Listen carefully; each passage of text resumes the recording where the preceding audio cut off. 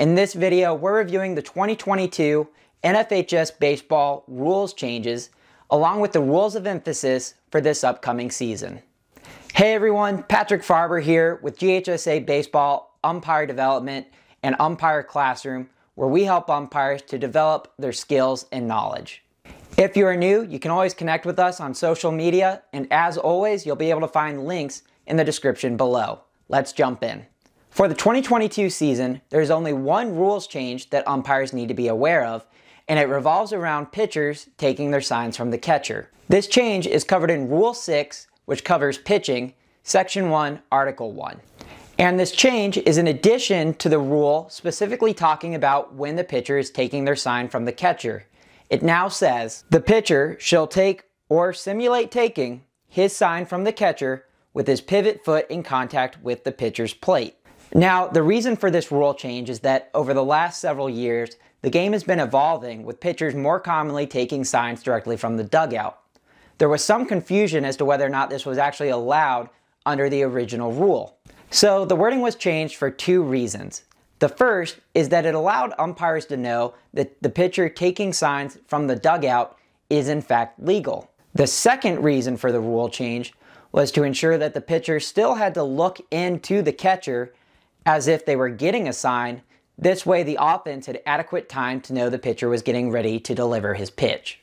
Now, as umpires, we need to understand the intent and spirit of this rules change to enforce it properly on the field. The reason for this rules change is to eliminate the chances of a pitcher delivering a quick pitch, either to get an advantage over the batter not being ready for the pitch, or a pitcher using a quick pitch to prevent runners from being able to get their proper lead.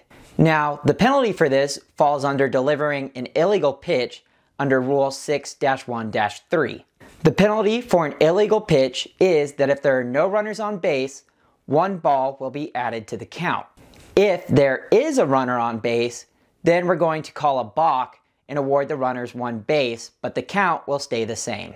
Now, to accompany this change, the NFHS added only one additional situation to the casebook. While off the pitching plate, the pitcher looks to the dugout and receives a signal for the next pitch.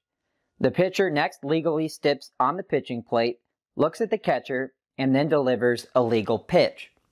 The opposing coach insists that a balk should be called because the pitcher did not take his sign from the catcher. With this year's rule change, we know that this is not a balk. The reason being, while the pitcher did take his sign from the coach in the dugout, he still simulated taking a sign from the catcher, and this constitutes a legal pitch. So ultimately, with this rules change, they made it legal for a sign to come into the pitcher directly from the dugout. We just need to have the pitcher simulating taking a sign from the catcher so that the offense has time to prepare for the next pitch. Now that we've reviewed the 2022 rules changes, let's move on and examine the five points of emphasis for this season. Now, two of this year's points of emphasis are very similar. They are excessive celebration and sportsmanship. The NFHS Baseball Rules Committee wants us to focus on the educational benefits of team sports. They also want us to emphasize that disrespectful behavior severely erodes the basic premise of educational based athletics. With the excessive celebration, the Rules Committee really wants to see choreographed celebrations removed from the game, and to prohibit theatrics that involve props or specific roles assigned to players as part of the celebration. Now, this point of emphasis is specifically directed towards coaches, but the Rules Committee notes that if coaches aren't able to handle this, the umpires will. The point of emphasis to the umpire directly states that we can step in if a coach is not handling excessive celebrations. They point out that we already have the ability to do that in the rulebook under Rule 3-3, which covers conduct. They point out and emphasize to the coaches that penalties for this can include warnings, restrictions to the dugout, or even ejection. The sportsmanship point of emphasis this year is specifically aimed at chants and loud noises, artificial or natural. They want us to remove intentional distractions by one team towards the other that are meant to distract the opponent either before pitching, hitting, or fielding. This could include something as basic as a player trying to yell balk to distract a pitcher.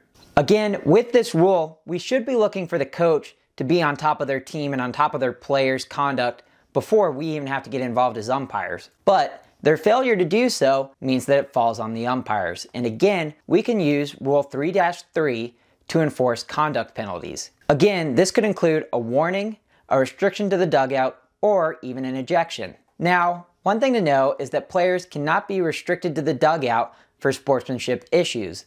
So, with players, they can receive a warning or be ejected. The next point of emphasis is proper use of equipment. Equipment is designed by manufacturers and sold to consumers for a specific purpose. The NFHS and state associations want to remove the risk of injury to players from improper use of equipment. While this obviously includes actions like altering a bat, a big point of emphasis here in Georgia is wristbands being worn around the belt. You see this often with play calling for teams, but because the band is designed to go on the wrist and not on the belt, this is not legal for playing action. This is an improper use of equipment and needs to be addressed immediately. The umpire should ask the player to remove the equipment from around their belt and place it properly on their wrist, or failure to do so could result in ejection of the player. The next point of emphasis is sitting on buckets. Now, specifically, this is talking about coaches sitting out of their dugout on the playing surface during live action. We do a pretty good job of this here in Georgia, not having to worry about this with coaches. They mostly know that they are not allowed to be outside of their dugout during playing action. Now, to quickly review, all coaches, players, subs, anyone not supposed to be on the field must be in the dugout during live ball action. And obviously, this includes sitting in live ball territory on a bucket or a stool. Finally, the last point of emphasis is lodged ball procedures. With this, they want to emphasize that if the ball remains on the field but has become wedged, stuck, lost, or unreachable, it is a lodged ball. Now, in this point of emphasis, they point out that there are already rules in place for balls that become lodged either in a player's uniform, a catcher's equipment, or even on the umpire, as well as rules explaining that a ball stuck in a player's glove is still live. This isn't something we see too often in our games, but it's something that we need to be aware of and know how to enforce when needed. You can find this under Rule 5, which covers dead balls and suspension of play. In this section, you can also find a table with proper awards and penalties for certain situations. So there you have it, our 2022 points of emphasis for NFHS baseball umpires. If you found this video helpful, be sure to check out the rest of our videos, and you can sign up for our weekly rules quiz starting in February, and specifically to help NFHS umpires improve their skills and knowledge. Thanks again for watching, and as always, I look forward to seeing you on the field.